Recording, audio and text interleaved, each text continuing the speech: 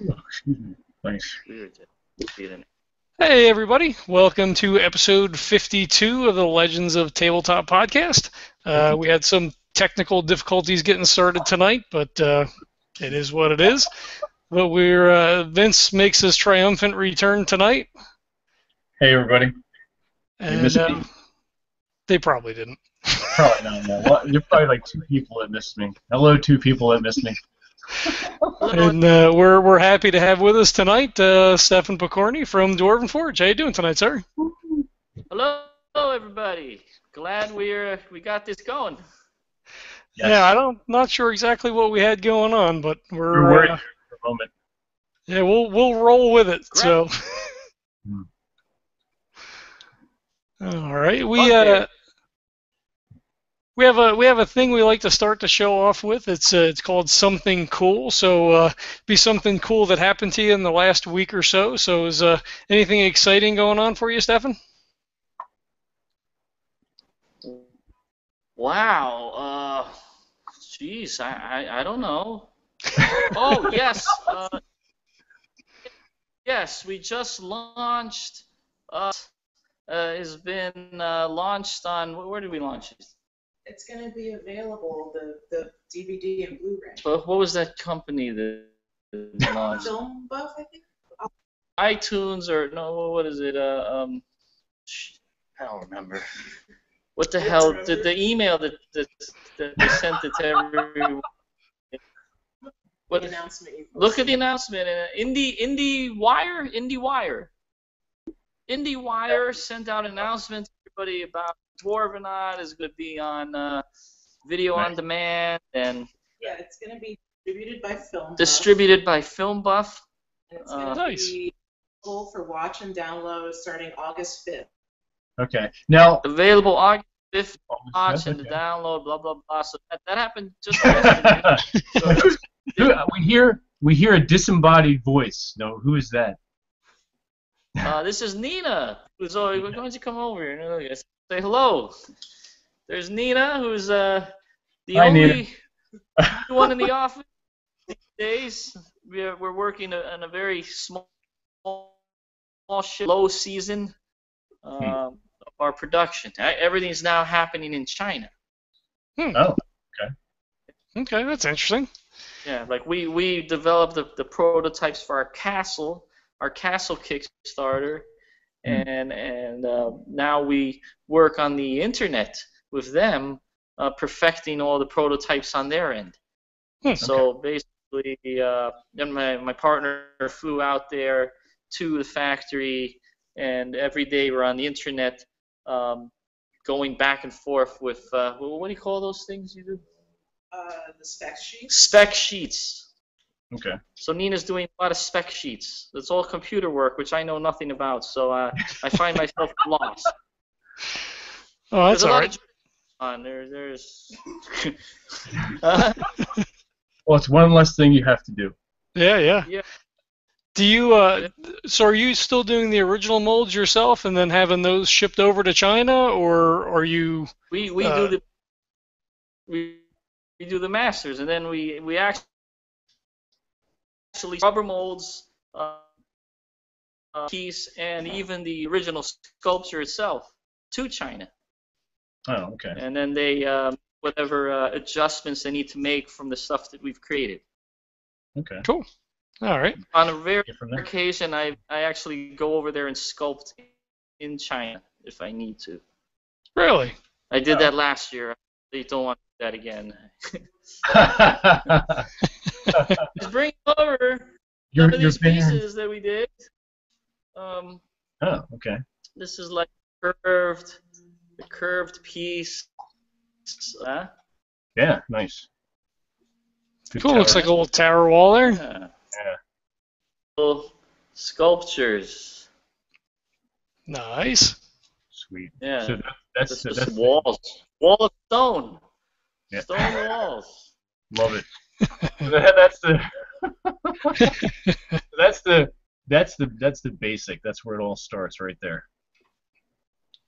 Nice. Yeah. Um, and and the, the so the um, the city was what your your fifth Kickstarter? How many For the town? Kickstarters have we done? People there was the third one. All right, the castles was the fourth. Oh, Oh, the fourth one. Okay. I lose track. I, There's so many my of brain is scrambled. Yeah. Yeah. And, and you guys have been. I hear. I'm not. I'm not really the brain. Oh no. Thank God. You're just a sculptor.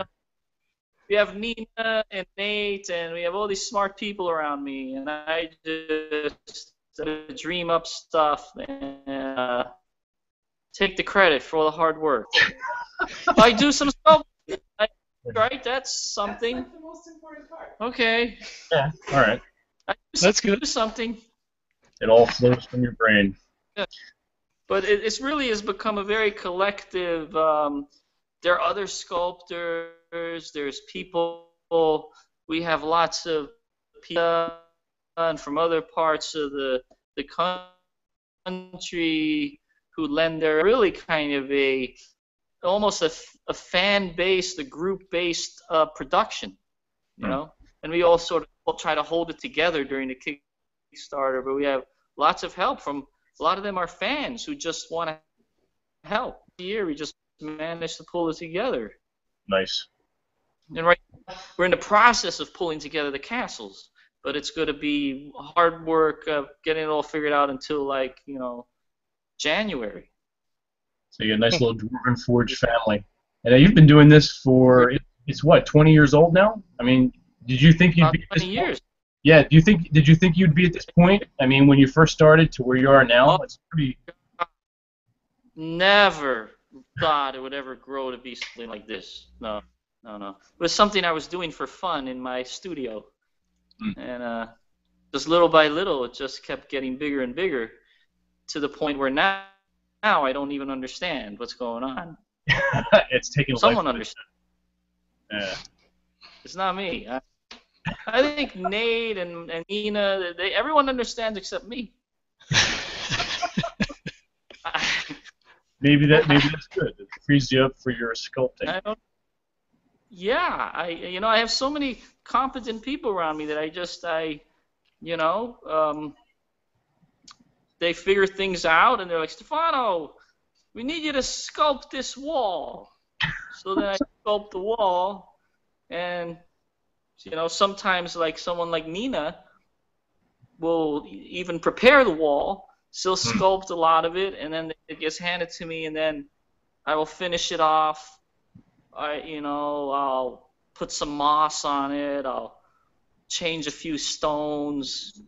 You know, but really, they- everybody's become so good. Hmm. Everyone around here has become so good at it now that uh, you know, and they and they know what I like. They know what I like, so they copy my, my style, so to speak, and and we, we've all become. We, we- it's like a little Santa's workshop around here. you know? Nice. But we don't have snow year round. It's just only in the winter. hmm Yes. Which is yes. And we have a Probably lot of good rats. No, in the summer would not be. rat. We have a serious rat problem here in uh, in our new office. Oh, that's no good. But yeah, we don't know what we're going to do. We, we Does it give you, they like, uh, chew through the walls. You know, it's like a Stephen King horror book. The rat. It's like, well, You know, Lovecraft. rats Rats, in the walls. That other horror guy. What is it? Lovecraft, yeah. Lovecraft. Rats in the walls. Lovecraft. It's Lovecraftian situation here. They they we have this tin where we keep snacks. They actually pried the lid of the tin off and ate all of our snacks in the middle of the night. Well, maybe you could teach them how to sculpt, and it's a win-win for everybody. You could, yeah, you could do that. You could also, uh, well, if it's Lovecraftian, you get some ideas for a Lovecraftian Kickstarter. You know, we, we you know we put rats. You know, we have them in our Kickstarters. We we have we make rats. I, make I, rats I have a and we- little, I have a little rat know sewer system. when they Yeah. want to come to us and you know it, it's really like some kind of weird horror movie where once we started sculpting these rats and putting them in our pieces they they all start coming to us They Mhm. Like the Pied Piper. Modeling maybe. Well, what? So you were making making uh, terrain on your own for your games and stuff at home. What was the uh, the impetus behind you to kind of kick it up a notch and go, hey, you know, we can, you know, maybe we can make some money doing this. So, you know, what what was the kind of got you into motion? Look at my. Oh well, y- you know, um, I was making them out of cardboard. It all started because I really liked the miniatures. I was collecting the miniatures and painting them, and then but there was nothing to, to put them in. So I uh, I started sculpting. I was I was doing some work for these uh, companies that, that uh, do like little uh, lighthouses and uh, you know little things you see at the airport and Oh, there he goes. Oh. it must be the rats. They got to him. No. They, they chewed through the Wi-Fi. Uh, fuck balls. Edit that out. Well, well, they'll, they'll, we'll wait for him to, to jump back into the call here. All right, that's that's pretty funny. God damn it! This has been cursed from the get-go. It is funny though. It makes for uh, good anecdotal stories later. hmm Oh, but yeah, that the rat I just showed you, it's, it's pretty cool. That that came as a little surprise thing in the pouch with the the sewer the sewer set, Cool. which the few viewers that we have, uh, if you tune in sometime later in August, you will get to see the live action uh, 5e campaign that I plan on running with the sewer uh, tile sets from Dwarven Forge. So that's exciting. And some of the other sets as well. Yeah, I have a I have a whole uh, whole idea for some stuff to build. So it'll, it'll be interesting. hmm hmm We'll have a, uh, a Rogue Trader campaign coming up once uh, the campaign I'm, I'm in with uh, the Dragon Fisters podcast wraps up. We're rapidly approaching a conclusion. Um, Yes. So we're gonna we're gonna kick it into uh, Rogue Trader gear. Neil, who's running our Fear Itself game, is also going to be running a Rogue Trader game. So should have a lot of games coming up. We hope. Yeah, enough to uh, have a decent, consistent content every Monday hmm hmm for your uh, listening pleasure. Yep. This uh, this next week coming up, we'll be dipping back into the uh, the the well that is Nerdbound and uh, following up with the second adventure of uh, Death Watch, uh, run by Dawn Steele. Uh, you can find him over at the RPPR forums. I think he's still active on there. PP. Sorry. this is juvenile, I know. You gotta expect anything less? No, not really. All right, I, my vet called, so I'm I'm actually going to listen to this uh, to this voicemail here. Ah, there we go. Oh, maybe I'm not. We thought, we thought maybe the rats got you. we The rats are chewing the my God we have uh, but we're back. Yep, We're back. Yeah, We're back. still live. still live. We're still here. Yep. Mhm. Uh, so what were we talking about? Uh, I was talking asking you how you got into going from you know sculpting and and doing stuff at home to transitioning into hey let's you know we can maybe make some money and and you know get some sculpts and and start with Dwar- the Dwarven Forge as a as a company. Well, um, you know, I, I had some prototypes made, and we I got a little 10 foot booth at Gen Con, and um, I I had just like a what we called a room and passage set and a room set, and we laid them out on the table, and uh, when the doors opened, people just swarmed our booth. I guess because I put an ad in the Gen Con booklet, and it showed this massive 3D dungeon, so everyone was like ready to come to our booth. And they came and swarmed our booth, and in four hours we were sold out. Nice. You know. So then we have like you know four days left. What are we no, doing? no merchandise. But uh, we took everyone's names down. We promised them when we get a new batch, we will send more out, and uh, it just kept going. You know. And then I remember the first batch we got. We used to have these little bow tie openings that would fit little bow ties to put the pieces together. Mhm. And they didn't fit quite right. So then we had to, in emergency, we, we remade the bow ties uh, and sent little packages of these bow ties to everyone who had bought our products. So everyone got a little letter saying, "Oh, we're sorry. Here's a little bow tie." uh, there are all kinds of. Oh man, over the course of 20 years, so many difficulties. There's just always something going wrong, and you, then you have to fix it. And you know, people that are that are new in this terrain business, I don't think they realize how hard it is. There are all these little things that happen that you don't really realize could happen, and we've just about seen them all, you know. And uh, but now we've got it down pretty good, you know. Yeah. And uh, What a nice role. I mean, I- I've been working with the, the, the same, you know, people for 20 years, so we've we've gotten pretty good at it. You've worked out all the kinks. Yeah, definitely. Yeah. Mhm. But on the other hand, now we start to do new new things. So like this castle, well, the city builder was new technology because using pegs, Hmm. sliding Hmm. walls and pegs, so that was new. And then the castles now we have magnets and it's you know curved walls and and and, and will the magnets attach correctly and so we're going through a whole bunch of testing of magnets right now and that's new so we're, we're in uncharted territory in a way. We used some magnets last year, but now we have, then we're using new substances. Like now we're using uh, not just dwarvenite, but gorgonite. Organ. Gorgonite, a little bit different, Hmm. and it doesn't weigh as much. But Oh, we okay. wanted to, we wanted to weigh something because otherwise it, it doesn't feel right. So it we're uh, we're adding weight. So these are all these things that we're behind the scenes we're working on. Mhm. And, uh, but uh, you know we'll Um, figure it out.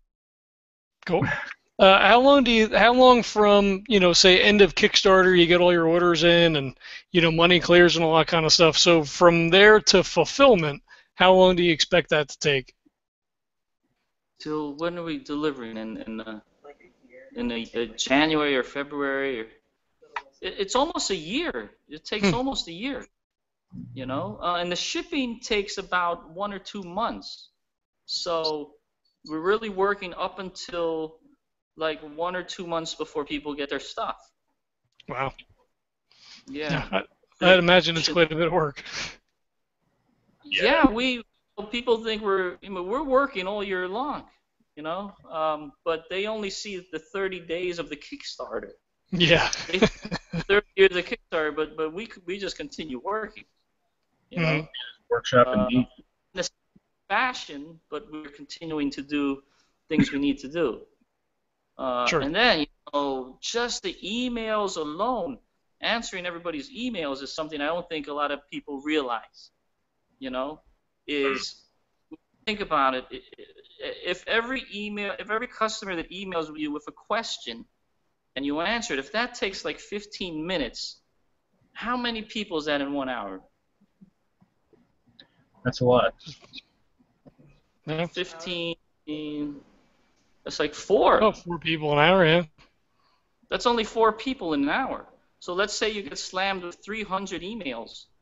How many hours does that take? Well, that's A lot of hours. We have Susie. All she does is answer people's emails. No, she does other things. She does a lot of, but that is one of her like, I mean, hours and hours every day just answering people's questions.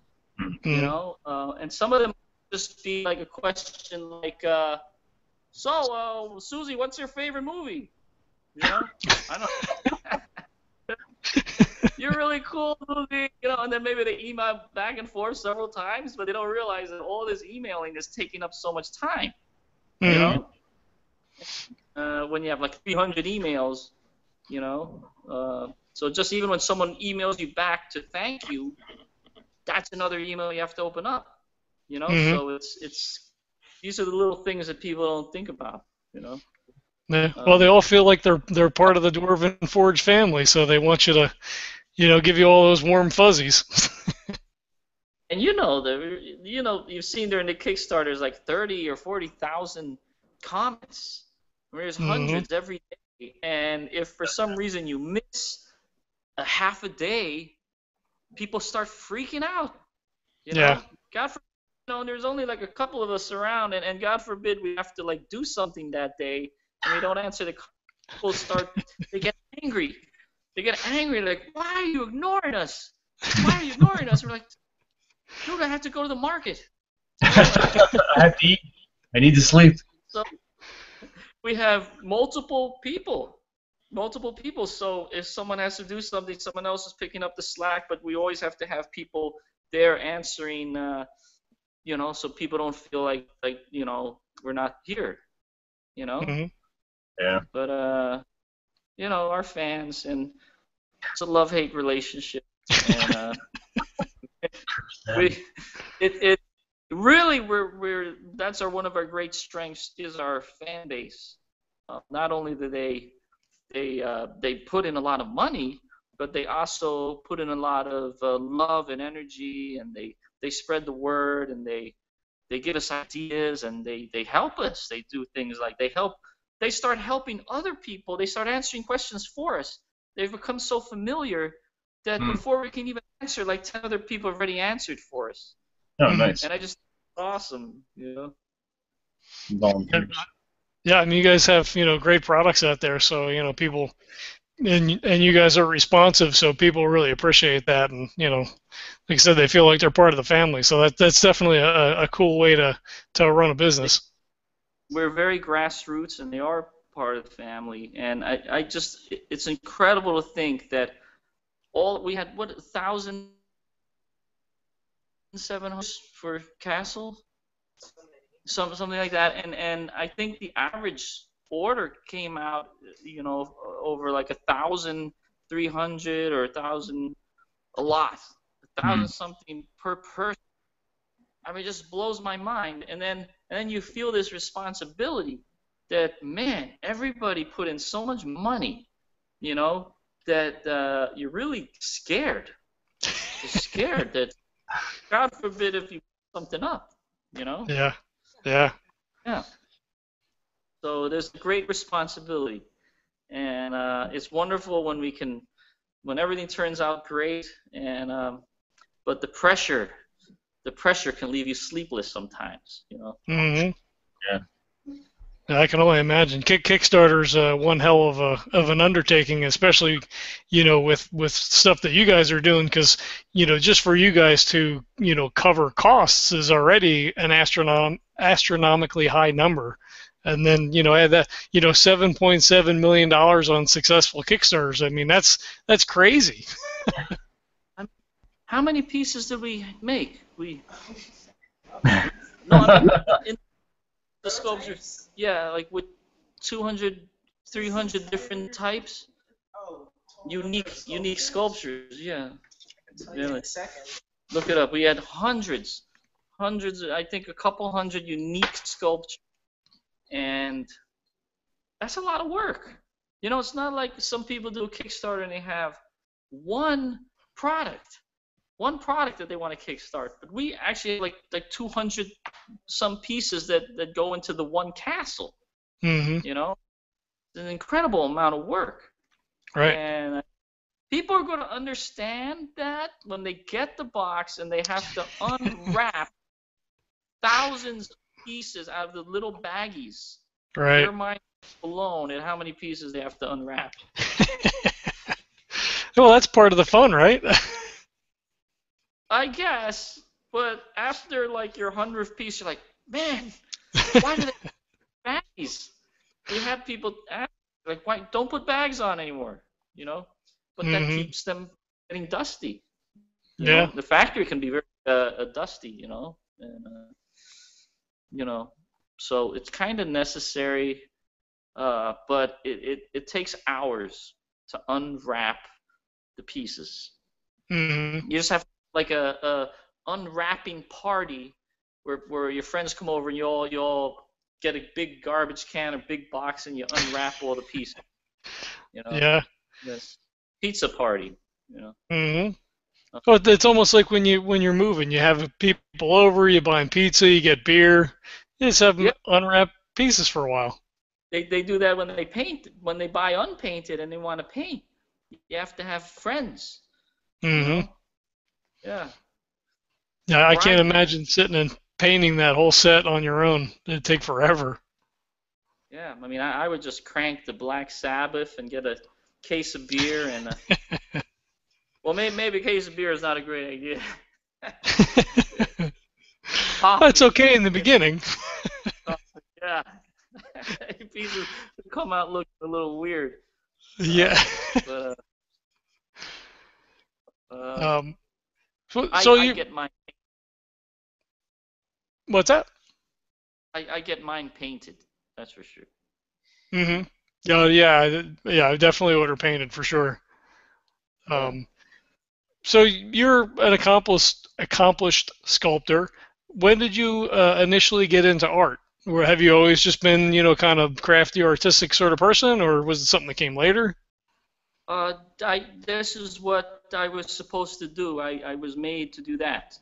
And I, I was, you know, from a little age, I was always obsessed with drawing on stuff and looking at art. And from the time uh, they adopted me, they, my mother said I was always fascinated with art. And they took me around the world to visit museums and churches and altar places, you know, uh, incredible things and that and, and embedded itself into my brain. And then the only way I could they would keep me from running around was to give me crayons. And so I was constantly drawing. And then when I was in school, I was constantly drawing on the tables and I was drawing on my jeep and I was. You don't know how many times I had to stay after school with Clorox and wipe down as punishment to wipe down all the drawing off the tables. And I kept getting, you know, sent to the principal's office, and eventually uh, I got kicked out, and I ended up at art school. Ah, And suddenly they wanted you to draw. You know, that was I think 15 or so, and that that changed my life. That's all detailed in the film, The Dwarvenauts. It, it goes really my life story is talked about in in the film. Uh, but uh, it's more than just a gaming movie. It, it's about uh, sort of like a biography. okay. biography. And, uh, but I, so I always I thought that I was here in the world to be an artist, to be a painter, and Dungeons and Dragons was my hobby. You know, that's what I did for fun. But painting and sculpting was my profession, and it's still. Well, now it's become that my hobby has become my profession, and the art has now become what I do if I have any spare time, which is very rarely. So it, was supposed to be just something to help, you know, make ends meet, but then it took over completely. And uh, hopefully in the future I can get back to painting and sculpting. Painting came first, and the interesting thing about painting is that you sort of, to be good, you have to transform in your mind the three-dimensional world onto a two-dimensional surface. Hmm. So you're sort of warping your your idea. You're flattening things out. Uh, so in order to be good, you have to sort of flatten them out.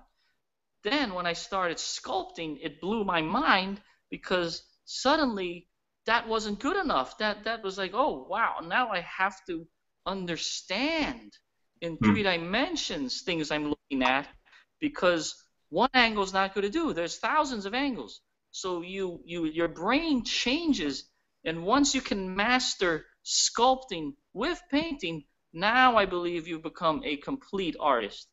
I think if you only do one or the other, you're only really half half of a master. I believe. Uh, like just like in the true Renaissance masters, they they study it all: drawing, painting, sculpting, what even the architecture, poetry, all these things. The, these you want to be complete, you have to study study how to do two-dimensional design, two-dimensional design, and also three-dimensional understanding. In order to be a good sculptor, it takes many many years because you have to look at something and then in your brain you have to sort of imagine it all the way around. And and the beautiful thing is that when you get this understanding and you go to the museum and you look at actual sculptures, you see them in a way that you had never seen them before. It's a wonderful thing. You you see nuances that uh, the layman doesn't see. In fact, you start to look at the whole world. You start to look at buildings. You start to look at streets. You start to look at landscapes. Everything you start to see them in a geometrical, for its geometrical beauty, so to Hmm. speak. You know, Okay. and it, it really enriches your life. You know.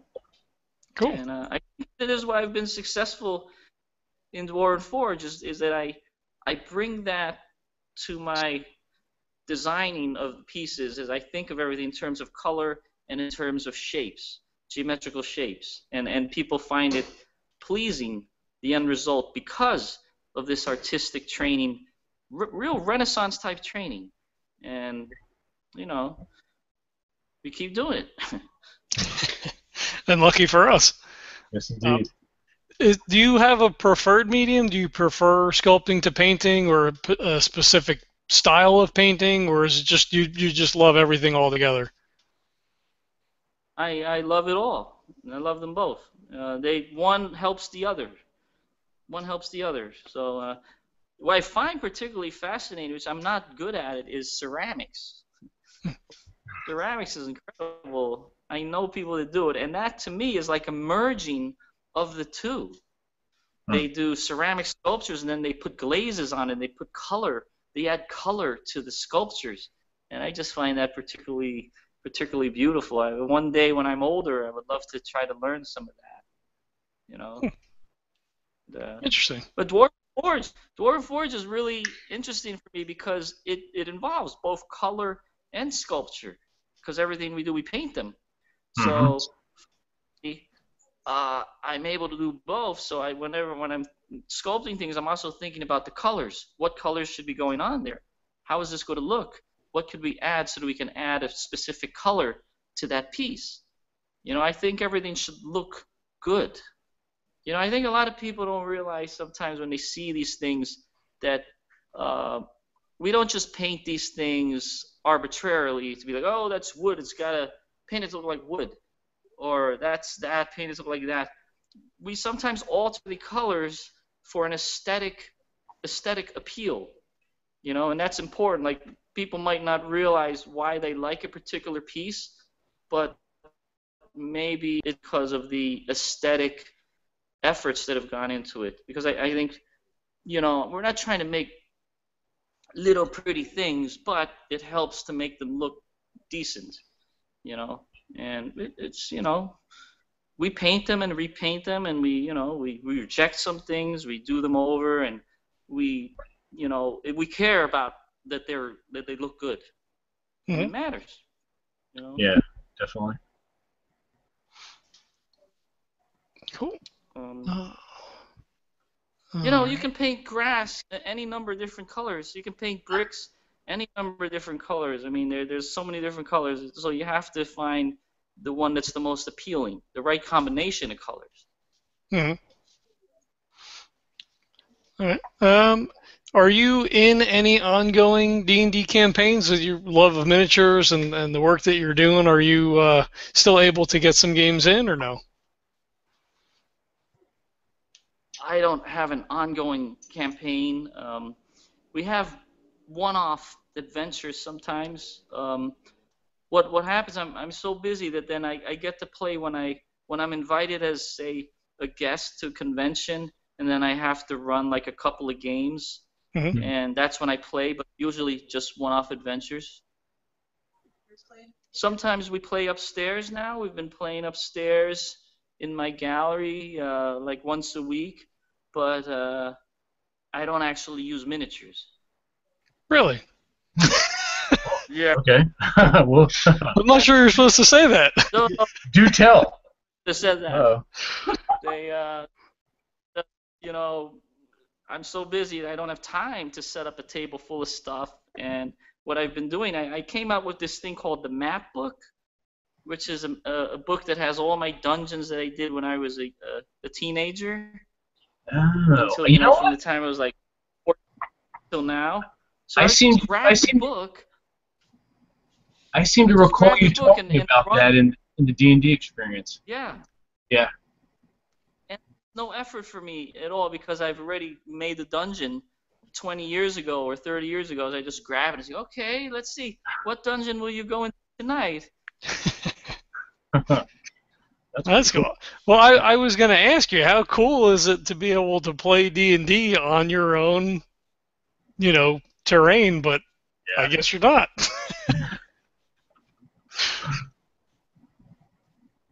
uh oh, he's frozen.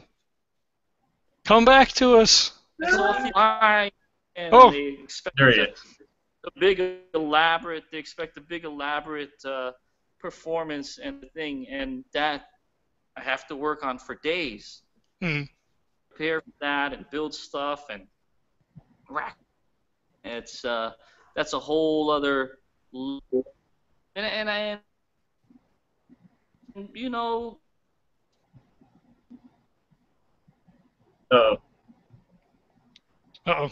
if you think of football, there's like the if you and your buddies in the backyard, and then there's the Super Bowl.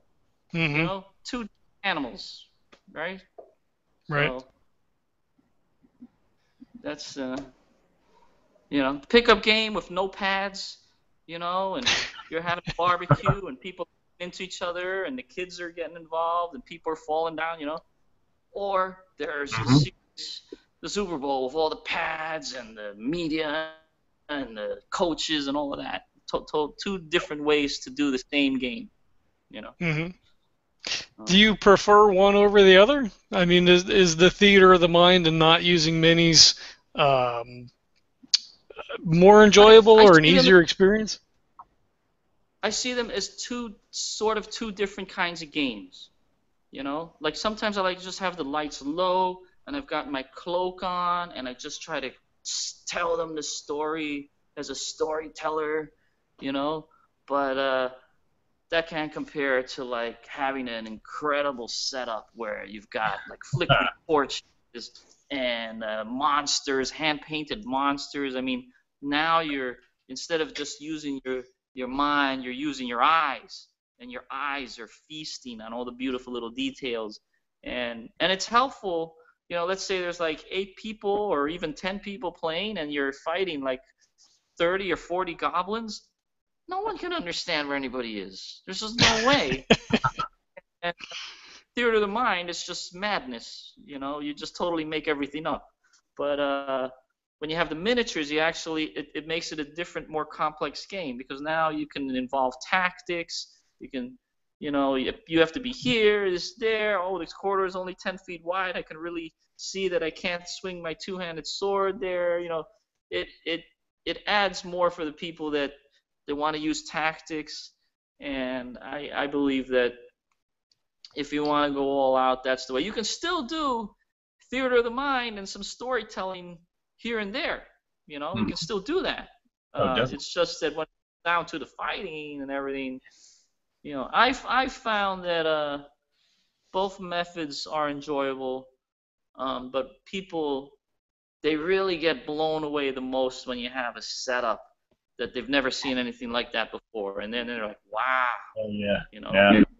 that really gets new people to come in and play the game and and, and they, they sort of take it more seriously hmm they take it more seriously focus in on, on the table and Official Um, tools. Yeah. but yeah. the kids oh the kids just go crazy they love it you know i, I was going to the brooklyn strategist and I had 10 year old kids like a whole bunch of 10 year old kids and they just love it and they're grabbing my miniature throwing them around and i'm horrified because they're dead and my spears are getting broken, the paint's chipping off, and I'm like, what the heck, you know? Which is why I like the Dwarvenite figures. yeah, I was about to say the Dwarvenite's pretty solid. Yeah, and and Yeah. they're and they're rubbery, so that then there's no fear, you know. hmm I, I wish those were more popular because they really are awesome, and that you can just throw everything into a, a knapsack and walk away, you know. That's how I have mine. And people really about Dwarvenite.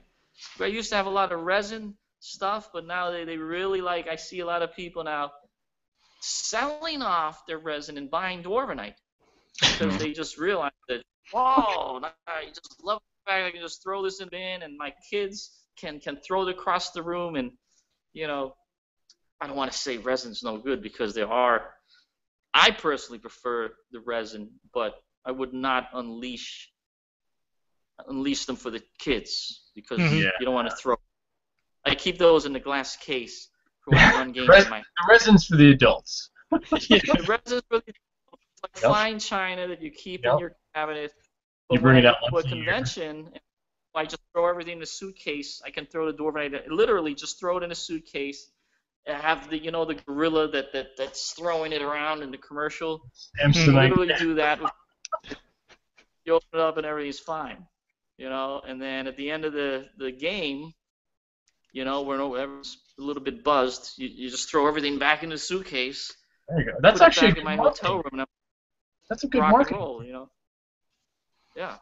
Have someone dressed up as a dwarf and jumping on your suitcase full of dwarvenite terrain. Yeah, we should do a commercial with a, a raging Exactly. dwarf. Yeah, that'll work. Yeah. Um, no, you're, Yeah. you, you should totally do Uh, that. The, the, wheels are turning. Now you're you're currently in the you're currently doing the, the castle the castle terrain now. Um, when you have an ongoing My- yeah, My, when people get this in their hands, Hmm. they're gonna their minds will be blown. Because nice. we were blown away. We, it's hard to blow us away. I mean, I've been doing this for like 20 years, and this is unlike anything that anyone has ever played with before. It's just Oh wow. when you start building a castle and switching it out and changing it, and and there's something way more fascinating about building a castle than just putting a dungeon room down. You know, dungeon room is cool. Don't get me wrong, but building a castle and towers and crenellations is just a whole other level of awesomeness. Oh You know, yeah. and the fact that every modular, you just take, uh, you, you can have a guy fighting at the top of the tower, and then when he runs down into the stairway, you can just pull off the side of the tower and see him inside the castle. That's pretty And, badass. and th- when he keeps going down, you just put that, that piece back and remove the other side of the castle so you can see him on the other side as he spirals down into the basement. I mean, it's and no one's ever done anything like this before. No one's attempted to do anything. We're nuts. We're crazy to have attempted. and That's a good thing. but we love it. It's we really pushed the, the envelope on that, and I think everyone understood that, and they Hmm. stood behind it. 30 days, they got more and more excited, and by the end of the Kickstarter, I think everybody was like exhausted and also just pleased, and they had all pledged like twice the amount that they thought they were going to pledge because because they uh, they really believed in the project, and uh, if uh, if we don't come through now, there will be assassins at my door. Uh, Well, they've already sent the Building- rats. everything works properly. Uh, Now, do you have the rats. exactly the rats? Are the, that's their the scouts. Now, while you have the ongoing project, do you have in the back of your head what you're doing for your next one? Uh, yeah, we're uh, gonna do uh, return to the basics for Okay. Kickstarter one. We did done. We're gonna center a lot on let's improve the Dwarvenite dungeons. Okay. You know, things like uh, flickering torches, maybe those. some moving trap, all kinds of cool looking archways and monster looking fountains, all kinds of crazy stuff. Okay. Uh, we have a couple of top secret things that we're going to blow people's minds with. Um, I can't divulge the information yet, but uh, there, believe me, there's there's a lot there. Okay. Yes, we have a lot of interesting ideas.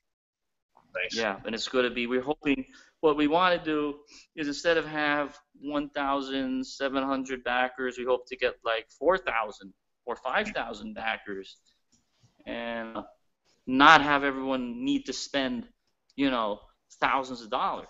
Now let, let's see if we can get something cool for like, like you know, 400 dollars. You know, mm-hmm. everyone is is pleading, pleading with us not to make things that, that they're going to have to like open up a second bank account Take out personal Uh, loan. or is things like that. They they because you know they, they want us they want to be able to get something not on the grand scale castle. They need a break.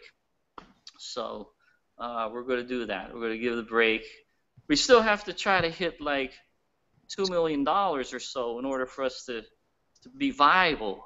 But we can do it by getting more backers to spend less money on on things that are going to appeal to everyone. Uh, we're going to have dungeons. We're going to have caverns. We're going to things to add to your city, things to add to your castle, but a smorgasbord, a smorgasbord, a cornucopia of all kinds of things. And uh, hopefully that appeals to a broader range of people. Not everybody wants a castle, let's face it. Not everybody can be a king or a lord of their kingdom. I mean, I don't True. know. There, some people don't, they can't handle that kind of thing, you know? It's a lot of responsibility. Exactly. Yeah, it's a responsibility to be the kingdom of your, you know, the kingdom. So uh, we're gonna notch it down and do like a more uh, for the uh, the less For the ambitious, the less ambitious. Yeah, Yeah. dungeon crawlers, Yep. All right. Cool. My favorite. and uh, we're gonna have a lot of stuff coming out. Sweet. And I, I'm glad that we're not gonna do something so mind-bogglingly difficult. It'll be a a nice break for us as well. Because we almost all lost our mind.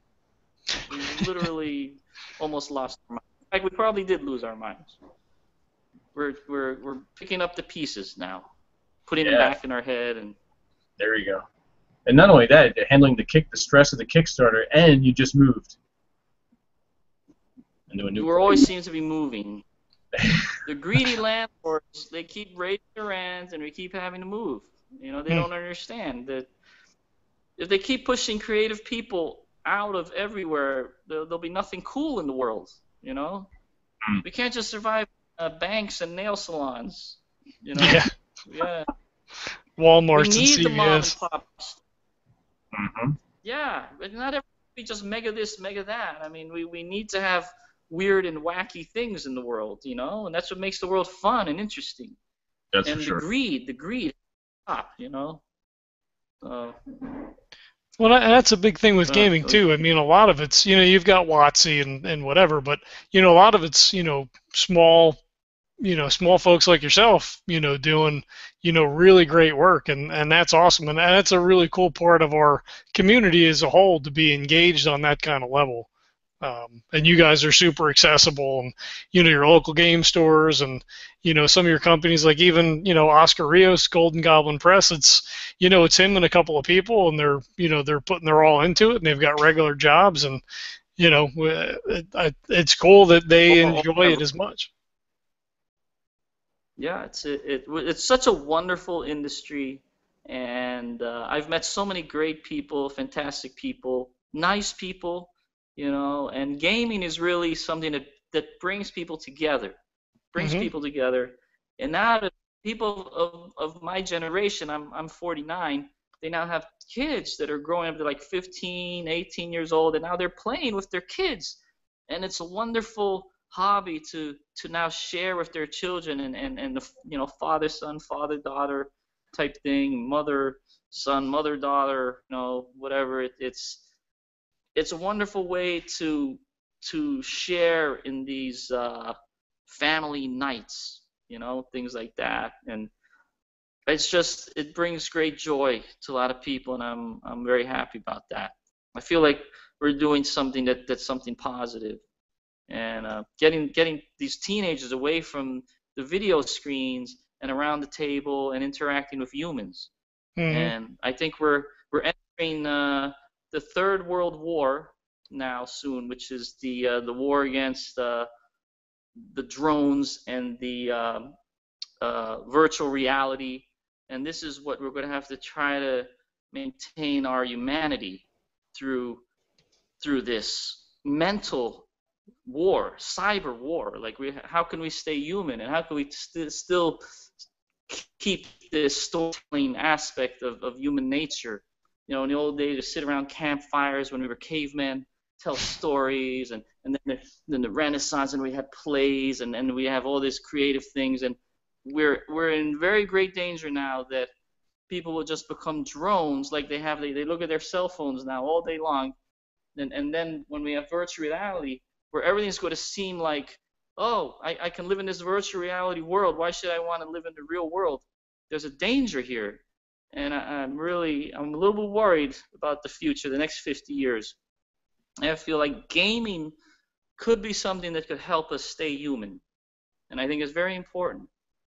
Mm-hmm. Yeah, definitely brings people I- together, and Yeah, I talk about that in the movie, and I, and people may they think I'm a little crazy, but uh, something to think about. well, I mean, taking us to where Judge Dredd was. I mean, I remember reading those comics back in the in the '80s, and you just had people, you know, essentially plugged into into monitors, just wasting away, and you know, it, it seems like that's that's kind of Yeah. where we're where we're headed. So, you know, gaming is is definitely uh, It is upon us now. It is upon Yeah. us. Yep. Well, and, and gaming, like very you said, scary. can can be uh, you know one of those things that you know helps to to keep bringing people together, and uh, you know, in board games too, and card gaming and everything. I mean, you know, RPG is great because it's you know it's cooperative storytelling, and you know you can really you know just spin an epic yarn, and you remember it for years and years. You know, you play a board game, you play a board game, and it's fun, and you have some beers and whatever. But but uh, you know, playing an RPG just takes it to a whole other level. Oh, a whole other level of, of wonderful stuff, and and it's a, co- a cooperative game. Or you know, role playing games, you're working together to solve a problem. You know, and this is what's one of the great things about it. You know, hmm Absolutely. Yeah, And- a lot and- of the, the parents that, that were scared of these kinds of games they didn't realize that, that one of the great things about this is it teaches cooperation. you hmm know? Solid math skills, you know, uh, break down those uh, awkward social, whatever makes you interact with people. Yeah. More confident. Yeah. Makes you curious to learn things like history, economics, all kinds of things like that. Mm-hmm. But you'd you'd mentioned the Dwarvenaut a couple of times. It's a movie that, that's about you and, and about gaming. Uh, how did that come about? How did how did that project kind of get underway? Well, it was uh, the thinking was originally I had been approached by several producers uh, that were like, you know, you should uh, have your own. What you do is fascinating. You you would make a great reality show. You know, there should be a Dwarven Forge reality show. And uh, after like the third time they said it to me, I started to really think about it. Like maybe maybe we're onto something. And uh, so there was uh, I started talking to people, and then uh, uh, this guy uh, we had Nate Nate Taylor who was helping me shoot videos, these incredible Kickstarter videos, and he knew people in the industry, and uh, he connected us with Josh Bishop, who is a documentary filmmaker, you know, and Josh. So the thinking was, oh, Josh will come in and he'll he'll shoot a sizzle reel, like a 20-minute sizzle reel or something, you know, and uh, he immediately came into our world, and within a few days, he he became convinced that that, that we should not do uh, this TV show. He said that you're doing a disservice to yourself, Stefano. Really, what needs to be done is a movie. Uh, but doing it, we could. It's better. It'd be more substantial. You're going to be made fun of in in a uh, um, TV show. It's not. It's just going to be funny and then a wag, but like a jerk or kind of thing. But but what you do, he became obsessed with it in a way and said, you know, really, the life story and the message here should be bigger and better. And after a while, he just convinced everyone that he, he wanted to make a documentary. So that's what happened. It grew into a year and a half of shooting and Wow. uh, into this documentary. And uh, Hmm. he did an incredible. He did a piece of art. What he created was was artwork, and it's a, I was blown when I saw it. I, I thought, wow, I, I didn't expect anything like this. This is incredible. And and he did all the music for it as well. He composed uh, music. The whole thing is, is composed by him. He's a, a musician, so he Oh. composed all original songs, and uh, that's on one one of the wonderful things about it. It's a very deeply personal film, I believe. It has a soul, a heart, and I think people love it. And and not just gamers. It's not a movie just for gamers. It's the general people of the world will like this. You could not know anything about gaming and you don't know anything about Dungeons and Dragons. You will see this movie and I think you will you will be emotionally moved. A lot of people cry, you know, in the movie. It, it's very moving, and uh, people, you know, uh, what is it? The Indie Wire and uh, Rolling Stone magazine and all these other outlets. They they've all said a lot of great things about it. You know, we've got a lot of the reviews have been very favorable Okay. from the real world. You know, one of our worst reviews was from a geeky, a geeky outlet. Forgot what. I'm like, come on, man. You of all, of all guys, you should be saying how you like the film, but in fact, the geeky one didn't like it, but but the real world people liked it. So I don't know. Yeah. Same team, Probably same good. team. Yeah, right. Yeah, you would think, but you know. Well, you always But get that, I almost like- guess. I can't complain. You know, it's it's overall it's been just fantastic. So you know, like with 20 good reviews and one medium review, it's fine. You know, hmm but uh, Yeah, you're gonna get that in every I, crowd. I think he's. I was a nerd. Yeah. I know, of course I am. You know, so. Uh, but you know, it's going to be out there, and I, I would say it uh, at a film festival on the big screen. It was shot in 4K, the latest, most beautiful uh, high resolution technology. So it's beautiful on, on the big screen. Shots of Venice are out of this world. You know, uh, we go to Europe. We go to Europe Nice. in the movie. So. Okay. Oh, there's cool. Italian, so we go to Italy. Nice. You know. Good deal. Uh, inspiration. hmm All right, I, I think we're we're just about wrapped up. We do have a uh, a thing we call the final five. We've got uh, five geeky questions to ask you. Uh, you can either answer just yes or no, or if you want to, you know, get into uh, the reasons why or whatever, we can do that too. So we'll, we'll fire away at the first one. Okay. It's Star Trek or Star Wars? Oh my God, that that's a hard one.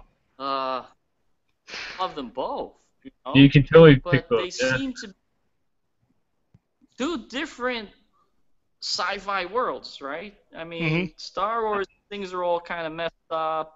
Star Trek is sort of like the perfect world, right? Like this, this is how Starfleet would be if it was perfect. You know, the I don't know, the the, the uniforms are always crisp, and uh, Star Wars we get get Han Solo, you know, when he's kind of a you know a rebel, and you know, I like them both, you know. Is that a, a good? Is that Yeah, allowed? that's fair. That No, a- that's fair. yeah, you can totally pick both. different animals, two different animals, you know. hmm What's better, Mar- sculpture or painting? You know, same as Star Wars, um, Star Trek. Mm-hmm. Different sides of the same coin, I guess. Fair enough. You you can like something and also like something else. You know, you don't have to like one thing and hate another. You can like them both. No, absolutely. But but that's not the game we're playing. you must pick one. no, both Great both is fine. a Um, rebel. tabletop or video games? Uh, I I would go with tabletop. I mean, That seems like a a no-brainer. Yeah, I mean, I, Yeah. I like there's some video games I like, but uh, they can't compare it to tabletop experience. No, nothing can compare to a good D and D game. I, I believe is the greatest game ever created, Amen. hands down. You know, Well, I, I think they just Call of Cthulhu just won that award or that whatever on uh, what was it Geek and Sundry, their top Yeah. 100 games ever or something. There you go. Stefan, did you? I, I'm more, I'm curious. Did you get your D and D start with the red box, or was it something um, a little more uh, earlier than that? I didn't. There's something earlier than that. I I didn't Well- uh, do the boxes. I I didn't even do modules. Oh, I okay. got. I started with the player's handbook, the Dungeon Master's Guide, and Okay. the, the Monster Manual. Okay. and probably when they came out. And Gotcha. and it said in there, hey, make up your own world, make up your own everything, and that's what I did. So uh, I, I find a lot. I have a gap.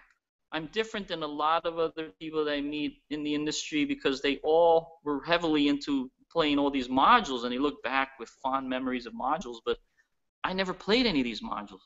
I Hmm. just always made up my own stuff in my little cave in my corner of New York.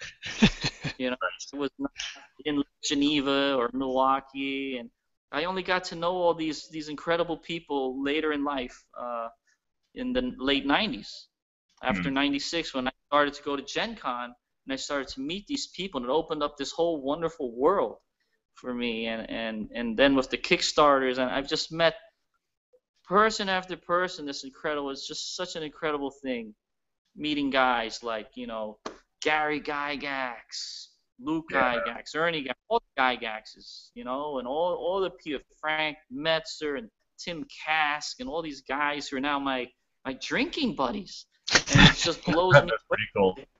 I pinch my, I pinch myself, ah, you know, hanging out with these guys, you know, and it's just an incredible thing. It's a wonderful, wonderful, beautiful thing. Mhm. Um, but now we're trying to make modules. It's tough. It's really Yeah. hard. It is. they make it look easy. It's so difficult, you know. Yeah. Um, they they're meant they help you, and um, you know, and they want to make modules in our in my world, my homegrown world of Mithras and the city of Valoria. I have those guys now want to make modules in it, and that's incredible. wow. You know, Oh, that's, yeah, that is very cool. Yeah. Things are coming.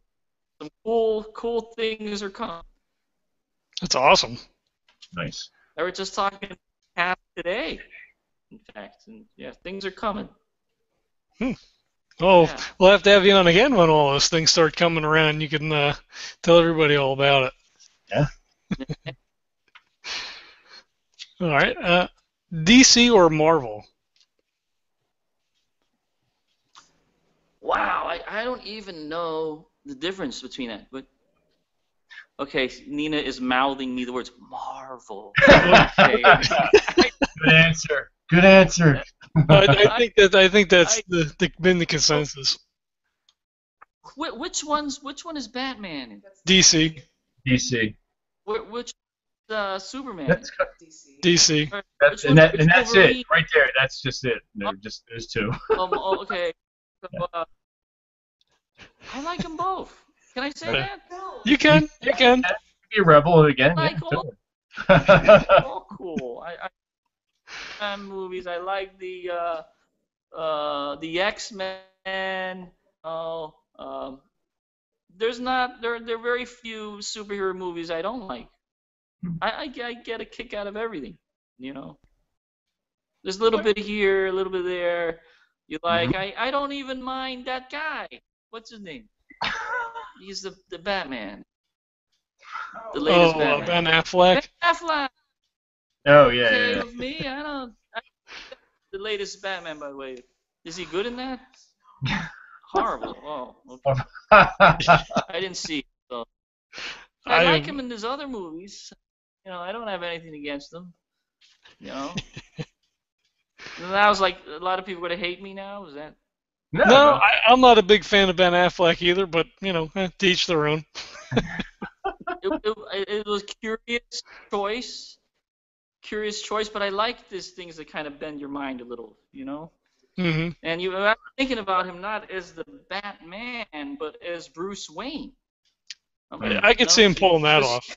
yeah. It could be a Bruce Wayne, you know. I mean, Mhm. because when he when he's Batman, he's got a costume. You don't even see him, right? Yeah. So Not really. I don't know. Yeah, Just Is he- mindset.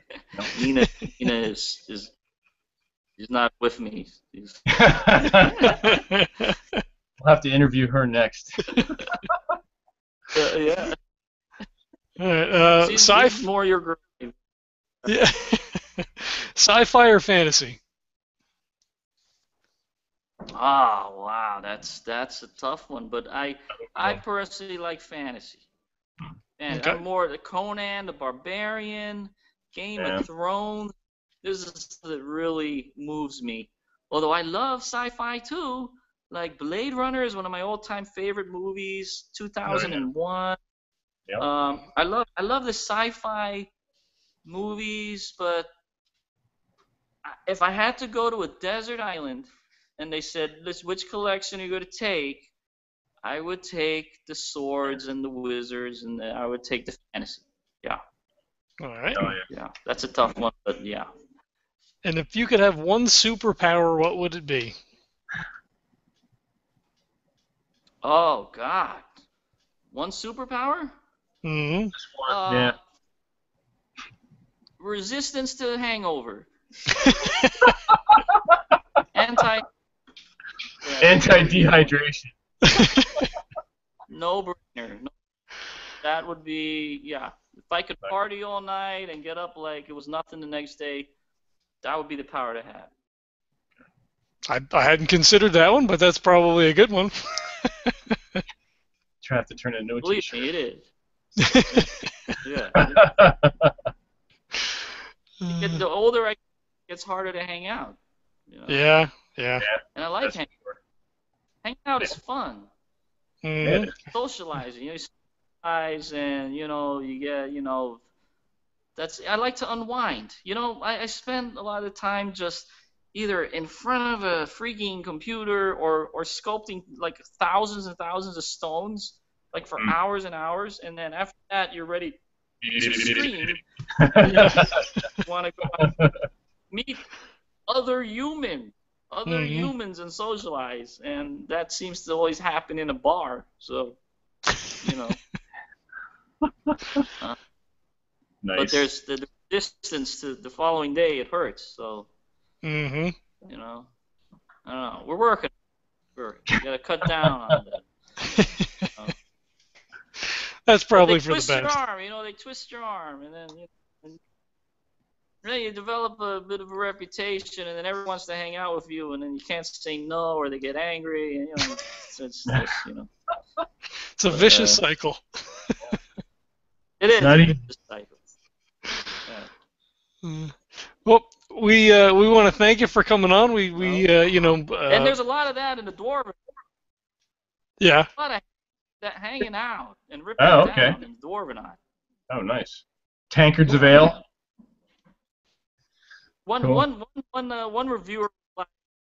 I hope that you get over your alcoholism, and you know, he wow was really worried.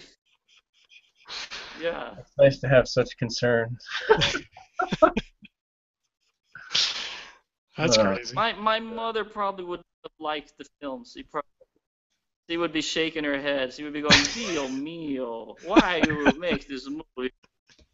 Oh, Dio mio." She would be very upset with me. Uh, Yeah. I, you know, I got to tell it like it is. You know, it's, hmm it's what it Indeed. is. You know. Yep. I wouldn't. I, I have no no regrets in life. I, I enjoyed it. I, I do it.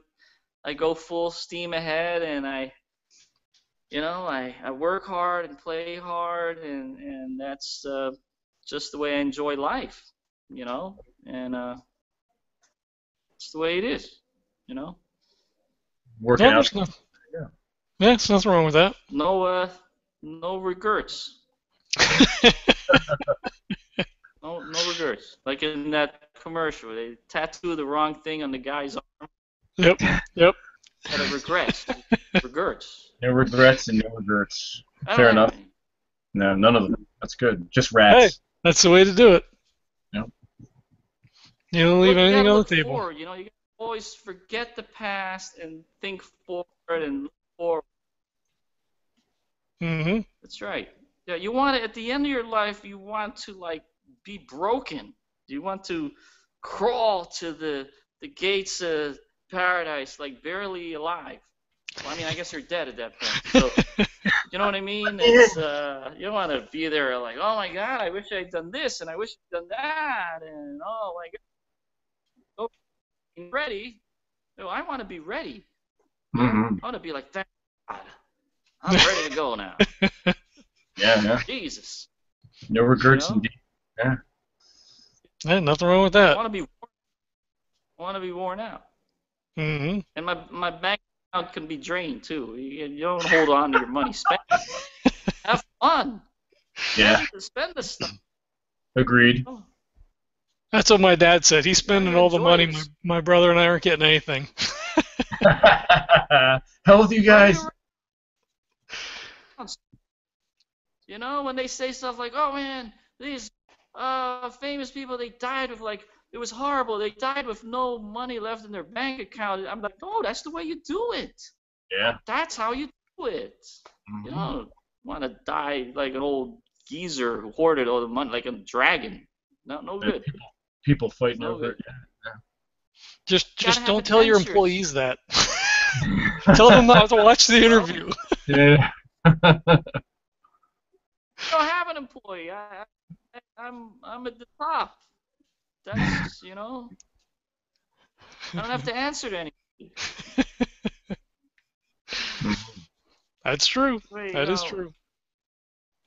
I've always been a, a rebel, so I hmm don't want to work for anyone else. But I did like waitering. I was a waiter for some reason. I liked it. Hmm. that weird? Well, maybe the Yes, uh, interaction with people. Yeah, you got to meet people. But I liked it. Yeah. Yeah, I used to like to talk to them. Say, hey, what do you want? The uh, the Don't order that. this Order this. sauce. Don't order that. Order the Yep. uh, the linguine, oh, or something. You know, I I would talk to them and joke with them, and and they I used to get their orders all wrong, but they used to give me because I was friendly. I, That's what, that's what they most had an people enjoyable want. night. You know, yeah, we, people would, uh, remember that. we would talk, meet so many different people. Yeah. You know, and then everything's always different. And then you never knew exactly how much you were going to make, so there was, you know, no one, no boring. It wasn't boring. You, you knew that, oh, let's see how much I'll make this time. You know, I liked. And then you left with a big wad of cash every night. big wad of cash, like a gang, like a gangster. Remember to head downtown to the bar. I love waitering. Like if Yeah. everything fails, I could go back to that. I could, you know, like some people, like I heard. Remember this guy? He was a, th- this former TSR artist, and he, he gave up everything. He started driving a taxi. Hmm. Huh. David A. Trampier. Oh. He, he ended up in Carbondale driving a taxi. Like, and a lot of people don't understand that, but I understand it. I was like, he just made his life really simple. You know, mm-hmm. he got rid of everything and was like, you know what? I just want to drive and drive people around. And, you know, sometimes there's something to be said for simplicity, Mhm. especially in this world now where you have everything has become more and more complicated. Everything's like crazy complicated now. But uh, we sometimes I wish I would just unplug everything and move to another country and disappear and just start over again and then everything be simple. Just be a Mhm. waiter. Disappear. you know, like I, Not I yet. Fantasies about that. Just disappear. Yes. You know? Not yet. We need more. We need more dwarven dwarvenite. Yes. One day I disappear. if I van- like Bilbo, if I van- vanish one day, to be like, oh, yeah, he's, he's probably waitering somewhere some little, in some little town in Italy. you know? Hey. He's got a lot of dungeon pieces. He's running really awesome games. I have a lot Because you of- could throw all that dwarvenite in the suitcase play when you go. It would take about ten. All the miniatures. Just retire and paint. There you go. Do some painting, yeah. Mhm. Ah, do painting. All right. Well, everybody man. should go and check out dwarvenforge.com. You can uh, see all the cool stuff there. You can order whatever sets are currently available. Um, want to thank you for coming on. We had a, you know, technical issues aside, we had a very good, uh, very good time talking to you. We appreciate Yeah, it. it's fun. Yeah, we, we we figured it out. I mean, because technology is becoming more and more difficult all the time. Scary. But we figured it out for now uh, until the next crisis happens. you Yep. there's going to be a, a crisis. Believe me. At some point, they have self-driving cars. You see that? Yep. Tesla. And they keep crashing now. Elon, Elon, Elon Musk is one of my. I believe in this guy. He's one of my heroes. But the self-driving cars is the people are starting to crash now, and uh, they they the technology is not quite there yet. I'm not. Mhm. I don't even know how to drive. Uh, but uh, I I was hopeful about the self-driving cars, but I watched this video, and, and you really still have to know how to drive. So Yeah. I'm not going to get in one yet. you know, well, we'll see what happens. We'll get there. But and you know what happens if we get attacked and they take down the grid? What if the grid, everything is now attached into the grid? What if they take the grid down? Yeah. I'm starting to think these guys that dig holes in their backyards and what do they call it? The, The preppers. The stuff. prepper- I'm Preppers. starting to think they're not that crazy anymore. You know? There's some I think validity. They're not that crazy anymore. I, I see it coming. You know, Mhm. it could be a big situation. Well, one EMP knocks Okay, she everything out. Nina's whole Let's plug the movie. August 5th, Dwarvenaut, Dwarvenaut.com. There you go. Yep. Dwarvenaut.com. Cool. We'll add that to the show notes. Plug. Uh, Anything enjoy else? it. Is there anything else he needs to The plug? Bring your kids. There's a couple of cursing in there here and there, but not too bad. You know, That's bound to happen. it was great to hanging out with you guys. Yeah. Absolutely. You It too. was great. It was great googling. Guys, uh, be happy to come on again and Cool. Absolutely. talk about the next installment of life. That'd be fantastic. Next time you get your, your next Kickstarter up and Hey, can going, people we'll, see this? Can yes, we're we're still we're still running live. We we've got can uh, this? I, I I know this is live, but can people like see this later? yes. Oh, yeah. This will be saved on our YouTube page, and later on tonight I will extract the Okay. audio and I will edit and re-release this as just an MP3 only audio podcast, so people will just be able to listen to it. Yeah, SoundCloud, iTunes. So we can that. tell people to come here and check it out. Yep. Yep. Well, we will we will definitely tweet about it. We'll we'll include you in those so you can uh, retweet those out. Um, you you can find this and, and the MP3 on our uh, website. It's legendsoftabletop.com. You can uh, hit us up with your questions, comments, and feedback at legendsoftabletop at gmail.com. We're on uh, most of the social media platforms. You can find us on iTunes, uh, Google Play, SoundCloud. Google us, you'll find us. We're we're out and about. Uh, like horse shit, we're everywhere. Yep. Next week we're gonna have. Uh, God, I keep A forgetting. his lot of places. A lot Yeah. of places. We're gonna have uh, collectors and uh, caper the. Uh, uh, the guys from Blue Heron Games coming on next week. Uh, talk about collectors and capers. Their current Kickstarter. It's going on right now. You should check that out. Um, and I guess that's probably about it. I want to Yeah. thank Stefan again for coming on, and we'll catch you guys next time. Bye. Thank you guys. Over and out.